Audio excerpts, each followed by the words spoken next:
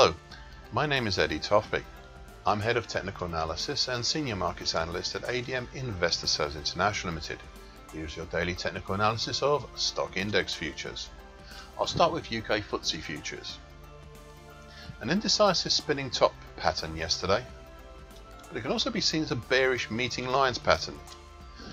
I say bearish as traditionally is seen as bearish, however data suggests that it tends to be ever so marginally bullish. It'll be interesting to see if the market follows tradition or the data. It was nevertheless an indecisive spinning top that started out the day as a follow-on higher to the previous session's counter to the counter bullish Harami. It just happened that the market developed a long tongue on top as a result.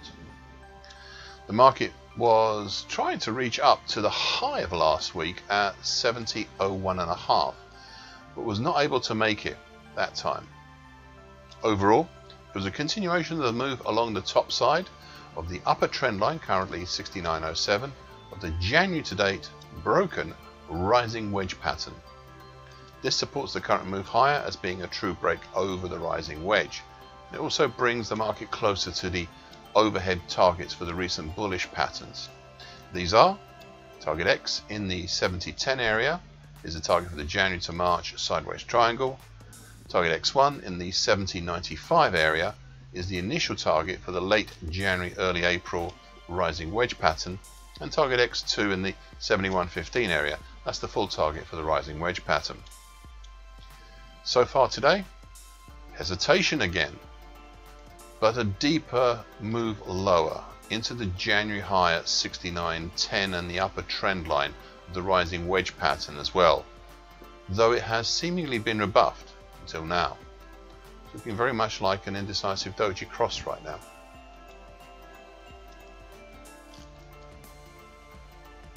German DAX futures. A large bearish engulfing pattern yesterday. Large question mark? Well, large given the previous actions of this week. What was more interesting was that it was also a break lower out of what must now be, at least initially, considered the diamond top pattern formed over the, from the recent week's actions. I laid the question out yesterday as to whether this was to be a bullish continuation diamond uh, pattern, diamond pattern, or a bearish diamond top pattern. At the time I could not tell which it was nor if we would have false breaks first. However, if we make the assumption that this is a genuine diamond top for the moment, then they could give an idea of the size of the move, should it happen once it is confirmed. The move would be in the order of 450 points from the break of the relevant trend line. So in this case, it will be a move potentially down to the 14,800 area. I've placed the provisional uh, target X there on the daily chart. I'll just let that sink in for a moment. Below we have the rising two-pointer uptrend from very late October 2020, currently at 14,860. So far today, indecision. A little higher, but indecision nevertheless. I suspect the market is concerned that yesterday's move lower may be a false break. US E-mini S&P futures. Key reversal up yesterday and another new all-time high.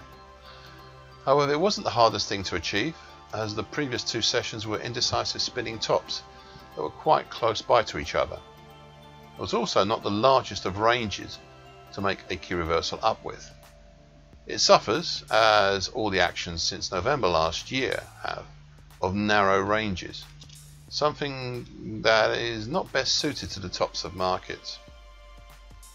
Interestingly, the close, yet another new high close, was barely over the second of the two important projected Fibonacci lines.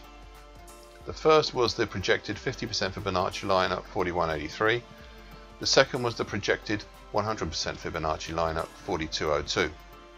Now the market closed at 4203 seems the rising support of the middle tine, currently at 41.84 of the December 2020 to early February 2021 bullish Andrews pitchfork, was enough to eventually overcome these projected Fibonacci levels. As a guide, this pitchfork has shown the bullish angle of attack since February. The recent narrowing of ranges and squashing of markets between supports and resistances is usually indicative of a possible big move once it stops. We'll have to see if this is true this time. So far today, a lower open below the projected 100% Fibonacci line and the straight move lower down through the projected 50% Fibonacci line and interestingly the middle tine at this time though is still not that big a move as yet. French CAC 40 futures. The complex action yesterday was on the surface a higher, indeed a new all-time high. Yet at the same time it was still an indecisive spinning top, if looked at on its own. If that wasn't complex enough, if taken in conjunction with the previous session's pattern, it was also a bearish meeting lines pattern. I say bearish as traditionally these patterns are seen as bearish, however data suggests they are ever so slightly bullish in nature. Be interesting to see whether the market follows tradition or the data. In this regard, the move higher was generated from energy and ammunition derived from the important lower tine, currently 62.22, of December 2020 to January 2021 bullish Andrews pitchfork, and its nearby partner, the short moving average, currently at 6200, as well as the prior all time high from July 2007 at 61.69. Please note this bullish pitchfork has up till now brilliantly driven the bullish incentive higher since its inception in late January. And as I've said for the last six weeks, and I quote yet again, all is moot until prices move out of these tines, those tines. So far today, a lower open and a dip down to test the lower tine. Not the sort of thing one would expect immediately after making a new high.